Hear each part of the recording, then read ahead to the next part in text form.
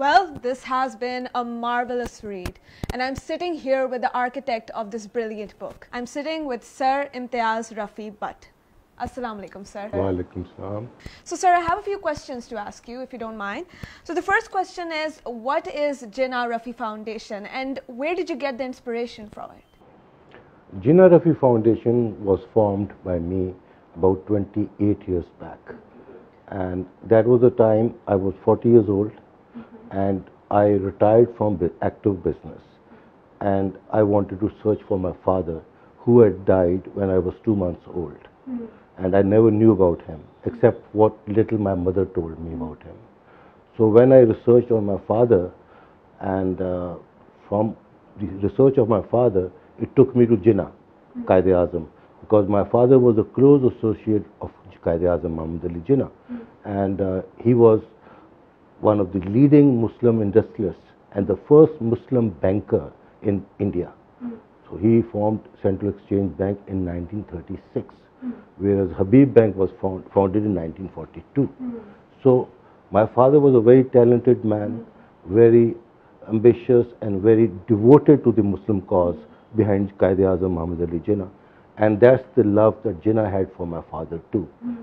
So re researching on my father, which I wanted to know, how he is, how he lived his life, what was his objectives.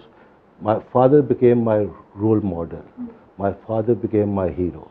So after looking for my father, my, my search and search for, for my father took me to Muhammad Ali Jinnah. And through that research, I researched on Qaeda Azam Muhammad Ali Jinnah and was amazed to find that there is, there is no leader in the world equal to Jinnah the kind of qualities Jinnah had, the kind of uh, achievements Qaeda mm-hmm. Azam did for us, and it was only Jinnah who got us this country. Mm-hmm. And while researching on Jinnah, I found love for Pakistan. Mm-hmm.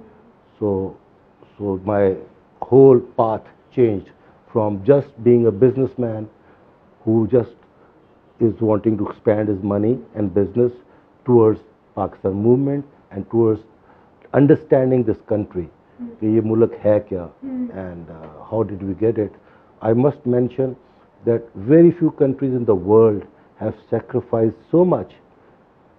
for the independence as much as Muslims of subcontinent did. One million people died exactly. and were slaughtered uh, in the partition. Mm And Lahore and Punjab was the real area where the blunt was hmm. because there was a uh, a divide among Muslims and Hindus and Sikhs who lived for thousands of years together. And uh, there one day uh, a British uh, lawyer comes, which is known as Cliff, uh, uh, Clifton, and he draws a line of partition. And that's where the where, where riots took place in, in Lahore and buildings were burned Rangmal was totally burnt. So it was Jinnah who got us Pakistan, and very few people, especially of the new generation, can realize the sacrifices that their forefathers gave to get this country. I completely agree. It's been a very difficult journey for all Pakistanis to actually achieve this nation that it is. So, uh, my second question is uh, basically can you tell us about the book Guide Service? Yes. Uh, when I started research on my father, mm. and I found letters between my father and Qaid Azam in the archives of mm. Islamabad, and it was amazing for me. Mm. First time I seeing my father writing to Jinnah and talking to Jinnah hmm. through his letters, and uh, it was a very fascinating journey for hmm. me. And then I hired one of the best researchers that was available in Pakistan. And then Sayyid Razi Wasti, who, who is a history uh, icon, hmm. and Columbia University, America, hmm. may, on Kai's seat, he was there. So he wrote this book at hmm. Kai's service uh, with seven years of research that our research team did. And this book creates India and Punjab and Lahore in particular of 30s and 40s era. Totally. How many Muslims were there? How many shops were there? How many factories were there in, in Punjab? Who were the leaders at that time? And uh, among Hindus, Muslims and Sikhs. And uh, Muslims were very, very sub, uh, uh down at that time compared to Hindus. And Rafi Bhatt was one figure which was amazingly rising at mm. his times. So this book recreates Lahore of 30s and Azam ویکریز Ali Jinnah uh, in the 40s. اچھا قائد اعظم کا تو ہم نے کافی سنا ہے اور ہر بچہ ان کو جانتا ہے سیکھتے بھی ہیں پاکستان اسٹڈیز کے اندر سب کچھ لیکن ہاؤ کلوز کتنے قریب تھے آپ کے فادر ان سے میں یہ کہوں گا آپ اگر یہ خط پڑھ لیں اس کتاب میں جو آپ نے پڑھے ہیں تو وہ خط بتاتے ہیں کہ how close Rafi but was was Jinnah and لوگ تو قائد اعظم کو دور سے دیکھنے کو ترستے تھے جب میں نے ریسرچ کی اور ممتاز دولتانہ اور شوکت یاد جو اس وقت کے لیڈر تھے ان سے میں نے بات کی اور انہوں نے اپنے انٹرویوز دیے تو ان کے الفاظ یہ تھے کہ ہم ترستے تھے کہ قائد ہمیں ایک منٹ دے دے کہ ہم قائد سے کوئی بات کر لیں اور رفی بٹ کے لیے قائد انتظار کر رہا ہوتا تھا اور خطوں میں نظر آتا ہے کہ how how much how much Quaid so the so the potential in this young man and اس میں قائد اعظم کو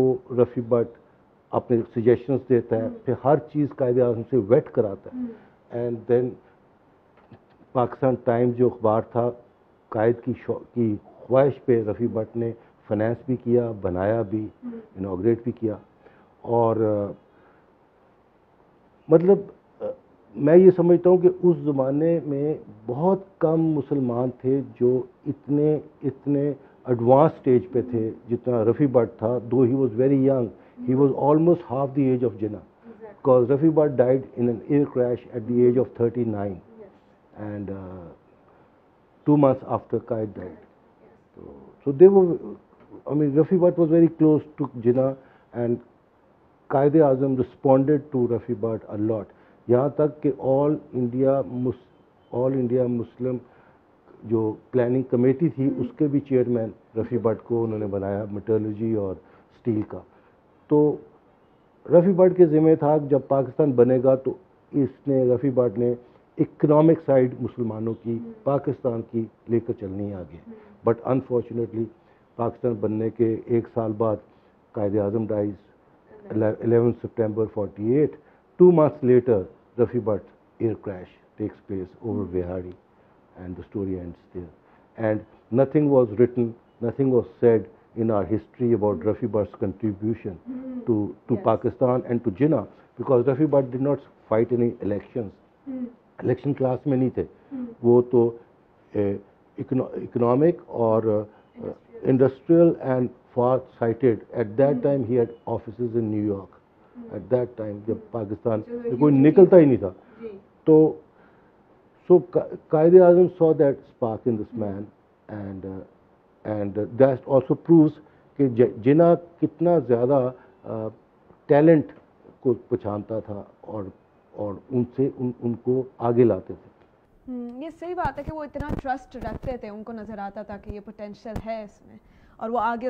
the sad part is that history never covered Rafi उनको That was the sad part.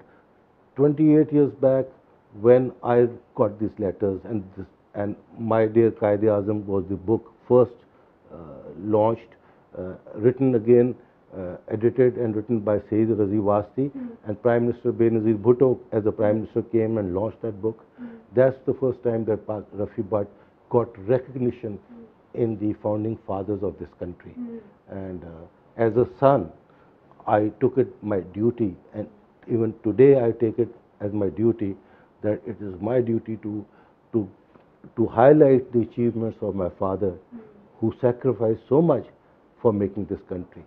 And uh, so that's my passion, and that's my duty also. And I can definitely say that you know, like father, like son. You that's that my duty. Exactly. so, to, what, extent, do you actually feel, that this, book, can impact, the general, masses, or, the youth of Pakistan? देखिए हम 28 साल से हर national day celebrate करते हैं hmm. foundation like the 23rd March, 14th August, mm. birthday, 25th hmm. December and all those national days. Hmm. And for 28 years I'm doing that and we get large crowd of friends and people mm. and educate them on, on Pakistan movement because Pakistan movement हुई थी Pakistan Pakistan बना था mm. is the main figure mm.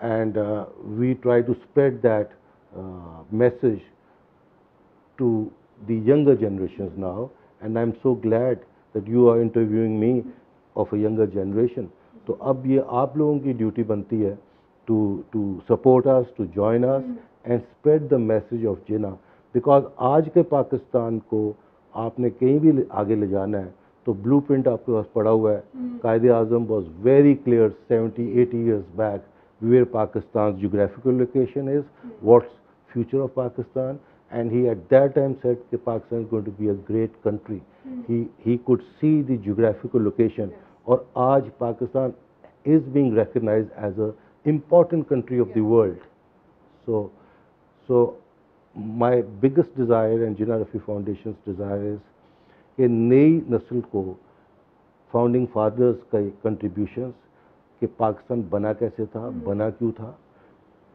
Two nation theory پہ تھا hmm. جو جو long martial آز نے سمجھ کیا جی۔ اور کنفیوز کیا لوگوں کو وہ کنفیوژن نکالی جائے دوسری چیز میں بتاؤں آپ کو تاریخ جو ہوتی ہے ہسٹری ری رائٹ ہوتی ہے ہسٹری جی۔ جس حکمران کے وقت میں لکھی جائے اس کے انفلوئنس ساتھ لکھی جاتی ہے جب وہ حکمران ختم ہو جائے ری رائٹ ہوتی ہے تو اس کا انفلوئنس نہیں ہوتا مینس جب ایوب خان تھا پاکستان میں تو جو جو بھی ہسٹورینس نے جب ہسٹری لکھی تو ایوب خان کی گورنمنٹ کا انفلوئنس تھا جی۔ کہ اتنا تم نے لکھنا اتنا نہیں لکھنا بٹ آج کوئی بھی ہسٹورین لکھ سکتا ہے اس آپ ہاں۔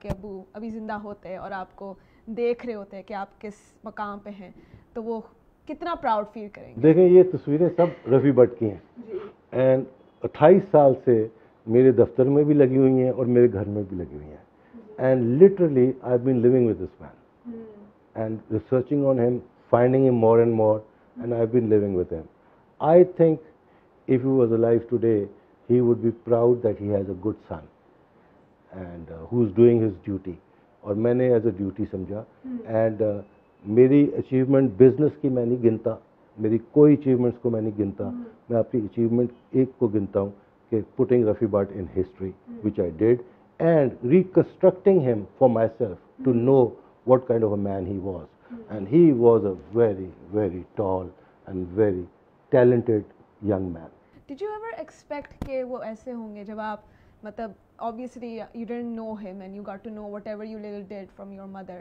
تو آپ نے کبھی سوچا تھا کہ وہ اتنے امیزنگ آدمی ہوں گے نہیں میں نے وہ کنفیوژن تھی my mother use to tell me کہ he was a great man my mother use to tell me کہ کہ سید گل سیگل اس وقت کا بزنس مین تھا hmm. دولتانہ تھے پالیٹیشینز hmm. افتخار ممڈوٹ تھے وہ رفی بٹ کے پیچھے ان کے گھر آ رہے ہوتے تھے بٹ میں چائلڈ ہوڈ میں سمجھ نہیں سکا I thought is as a wife is just over doing it and over seeing that so میں یہ نہیں بلیو کرتا تھا بٹ سنتا رہتا تھا اور وہ سننے کے ساتھ مجھے اندازہ ہوتا جا رہا تھا بٹ یہ اندازہ نہیں تھا بٹ یقین کریں جب میں نے ریسرچ کی and after my age of forty تو جب میں نے رفیع بٹ کو ان ہسٹوریکل پرسپیکٹو دیکھا تو میں ڈسٹرب ہو گیا کہ how could a man achieve so much in such a short short period because میں نے بھی لائف میں اپنی ہمبل وے میں بہت اچیومنٹس کی by the age of thirty from zero I was a rich man تو بٹ جب میں نے رفی بٹ کی اچیومنٹس دیکھی تو I was shocked and surprise اور ایسے لوگ صدیوں میں کبھی کبھی پیدا ہوتے ہیں he was of and his photograph look آرگ memories activities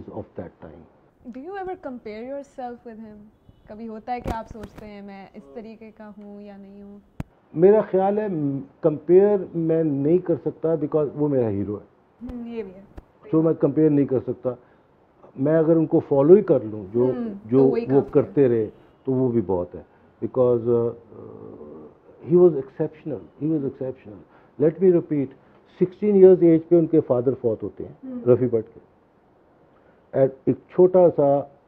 Anarkali میں ایک کارخانہ تھا چھ بندوں کا کام کرتا اور اوور کرتا ہے by the age of twenty four Rafi Butt makes the largest industry of in India Ferozepur road پہ آپوزٹ گدافی اسٹیڈیم جو گارڈن ٹاؤن ہے وہاں پہ ان کی فیکٹری تھی largest in India at the age of twenty seven Rafi Butt makes a bank central exchange bank first Muslim bank in India with branches all over India Calcutta Delhi Bombay Lahore ستائیس سال کا لڑکا اس زمانے کا thirty one years age he runs in to Jinnah and then Jinnah looks at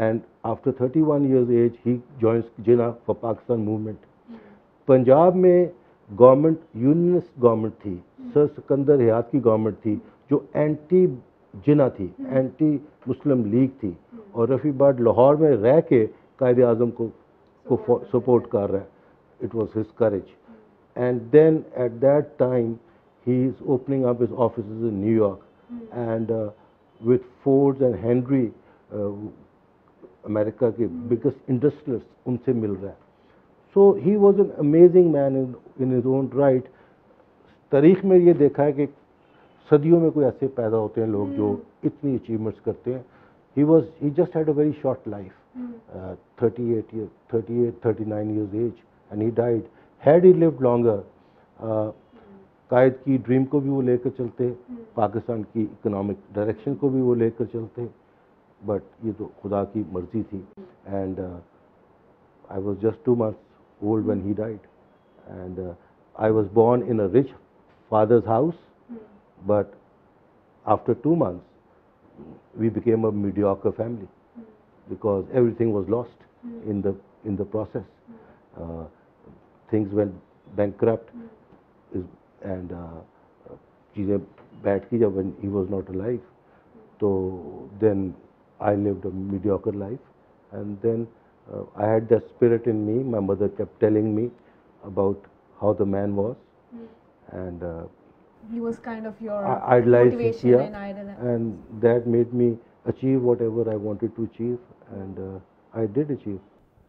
Mm, they say that even when your parents leave, they still have this strong presence. yeah, strong I, I, I feel its presence. हाँ, yeah, I feel its presence. And I'm sure आप yeah, I feel its presence. Um, the last few questions that I have is, um, what is your opinion on the current affairs of Pakistan, the current political situation? क्योंकि काफी chaos है, youth पे काफी effect आ रहा है, उनको कुछ समझ नहीं आ रही, confusion है. तो आपका उस पे क्या دیکھیں جی واقعی بہت کنفیوژن ہے جی، اردو پنجابی میں کہوں گا اندھیرا پڑا ہوا ہے اس میں اور اندھیرا پڑے گا جی۔ اور روشنی نکلے گی تو اب اس وقت اندھیرا ہے اور اندھیرا آئے گا ان فیو منتھس اور جی۔ پھر روشنی نکلے گی بیکاز چیزیں ہیو ٹو بیکم بیٹر تو اس وقت مجھے جو بہت دکھ ہوتا ہے جب میں سنتا ہوں مسلم لیگوں کو جو بھی مسلم لیگز ہیں ہم قائد کی مسلم لیگ ہیں فالو نہیں آئی مین مجھے وہ چیز عجیب لگتی قائد کی مسلم قائد کی کی تصور یا گائیڈنس کیا اور ان مسلم لیگوں کی باتیں کیا سو وہ دکھ دیتی ہے مجھے تو مگر میں یہ سمجھتا ہوں کہ پاکستان ایک بڑے اچھے وقت سے گزر رہا ہے انٹرنیشنلی پاکستان چائنا کو پاکستان کی بے پناہ ضرورت پڑ گئی ہے بیکاز جی. China needs to expand and has influence all over the world اور جو ساؤتھ چائنا سی ہے اس پہ اس کے پانچ چھ ملکوں کے ساتھ جھگڑے ہیں اینڈ hmm. بلاکیٹس uh, بھی وہاں سے ہوں گی تو اس نے گوادر کو پک کیا hmm. تو جب گوادر کو پک کیا تو فورٹی سیون بلین ڈالرس کی پرومس کی شی نے پریزیڈنٹ چائنا hmm. نے اباؤٹ اے ایئر بیک اور گوادر پہ اور انفراسٹرکچر پہ اور اور الیکٹرسٹی پہ بے پناہ کام ہو رہا ہے تو اس ملک میں پچاس ساٹھ بلین ڈالر کی انویسٹمنٹ آئے گی in the next few years میں بڑا شیور ہوں کہ ہماری جو پور کلاس ہے وہ مڈل کلاس میں ڈیولپ ہوگی اور جس ملک کی بڑی مڈل کلاس ہو جائے وہ ملک پراسپر کرتا ہے تو میں یہ سمجھتا ہوں کہ we have a great presence a great future because of a geographical location ہمیں مار پڑی اس اسی کا ہمیں فائدہ ملا کہ چائنا کو ہماری ضرورت ہے and China is coming up in a big way and lifting Pakistan so اس حوالے سے تو ٹھیک ہے ابھی یہ جو پولیٹیکلی ٹرمائل ہوا ہوا ہے I hope it settle sooner اور میں سمجھتا ہوں اس میں تھوڑی سی اور اندھیرا پڑے گا اور روشنی نکلے گی things will settle down because Pakistan کی ناٹ موو دس وے اس وقت تو بہت ہائی ہائی پہ پارٹیز بلو اپ کر رہی ہے نا جی۔ تو یہ کول ڈاؤن ہوگا and let's hope for the best and obviously the youth کا بھی بہت بڑا ہے اس کے اندر پارٹ ہوگا ان کو رول کرنا ہمارے یوتھ سے بیچارے سے بڑی زیادتی ہوتی رہی میں آپ کو بتاتا ہوں کہ when I was growing up تو Lahore Pakistan and Lahore was quite westernised کیونکہ برٹش ہوتے تھے جی، تو جب ضیاء الحق آیا تو وہ اسلام لے آیا تو ہمیں سمجھ نہیں آئی وہ الٹا دیا اس نے سارا کچھ پھر اسکول میں پہلے انگریزی ہوتی تھی پھر اردو کمپلسری کر دی پھر انگریزی کمپلسری ہو گئی تو that was the sad part that we you following تو یوتھ کنفیوز رہا پاکستان کا جی۔ بیکاز پاکستان میں مارشل آرٹس بھی چار I Pakistan is gone through a lot four martial آز breaking of one part of the country asset Pakistan ٹوٹ گیا پھر تین جنگیں three wars then your populous leader being hanged Bhutto gone through lot but good time has come for Pakistan because of C pack اور میں تو بہت دوستوں کو کہتا ہوں کہ سی پیک میں انویسٹمنٹس کرو چلو ہم نے as a Rafi group Gwadar میں گرین پام بہت بڑی ہاؤسنگ سوسائٹی اسکیم بنائی ہے اور بن رہی ہے had a great response and I would I would always tell my friends business people that you کی not go wrong go to Gwadar go to C pack get into C pack business promote that Pakistan کے لیے بھی اچھا ہوگا تمہارے لیے بھی اچھا ہوگا یہ اپرچونیٹیز دوبارہ نہیں ملتی جی my فائنسچنگ to what is the message جو آپ پیغام دینا چاہتے ہیں to the youth of Pakistan for fourteenth August کیونکہ انڈیپینڈنس ڈے اب آنے والا ہے قریب آ رہا ہے تو آپ ان کو کیا میسج دینا چاہتے ہیں کہ وہ کس چیز کو فالو کریں دیکھیں آج ٹرمپ ہے امریکہ کا پریزیڈنٹ جی۔ اور لوگ آج امریکہ میں اپنے فاؤنڈنگ فادرز کو یاد کر رہے ہیں جی کہ آپ فاؤنڈنگ فادرز کے مطابق ٹرمپ نہیں چل رہا فاؤنڈنگ فادرز جو ہوتے ہیں فالو دیم اور ہمارا قائد اعظم محمد علی جنا ہے فاؤنڈنگ فادر اور اس کے ساتھ ہی بلو پرنٹ وہاں پہ ہے نئی generation should feel proud of the former leaders though they are quite ashamed of their today's leaders جو لیٹسٹ لیڈرس ہیں بٹ آئی تھنک لیڈرشپ بھی نہیں آئے گی بہتر لوگ ہوں گے پازیٹیو رکھا جائے اور دوسری چیز ہے کہ جتنا ٹی وی پہ ہم دیکھتے ہیں نگیٹیوٹی پاکستان کے بارے اتنی میں نے تو کسی ملک میں کوئی ٹی وی کو اتنا نیگیٹو بات کرتے نہیں دیکھا آپ ٹی وی آن کریں تو نیگیٹو سارا جو ہمارے کنٹری کنٹری کے لوگ ہیں وہی کو کرٹیسائز برا کہتے ہیں جی۔ میں کہوں گا کہ glass half full and half empty دیکھتا تو پازیٹیو رہنا چاہیے پازیٹیو جی، سوچنا چاہیے پازیٹیو ایٹیچیوڈ رکھنا چاہیے اور یہ ملک اللہ تعالیٰ نے دیا اللہ تعالیٰ نے بچایا اور اللہ تعالیٰ آپ پہ مہربان ہے اس وقت اور میں آپ کی جنریشن کو دیکھ رہا ہوں فلرش کرتے اور بہتر اس پاکستان کو لے جاتے جی بہت شکریہ ہم نے یہی دیکھا ہے کہ کتنا ان کا پازیٹیو میسج تھا and regarding the book at کا بہت اس کے اندر انفارمیشن ہے regarding a very important man جس نے پاکستان کے لیے اتنا کانٹریبیوٹ کیا اور ان کے بارے میں لوگوں کو اتنا پتہ نہیں ہے تو اس بات کا کافی دکھ ہوتا ہے ہم سب کو and I am so lucky to sit here and Imtiaz and ان شاء اللہ پھر ہم آپ کو پش کرتے ہیں آپ کو پرسویٹ کرتے ہیں کہ آپ پلیز یہ بک ریڈ کریں and you step forward to actually take this nation somewhere great thank you so much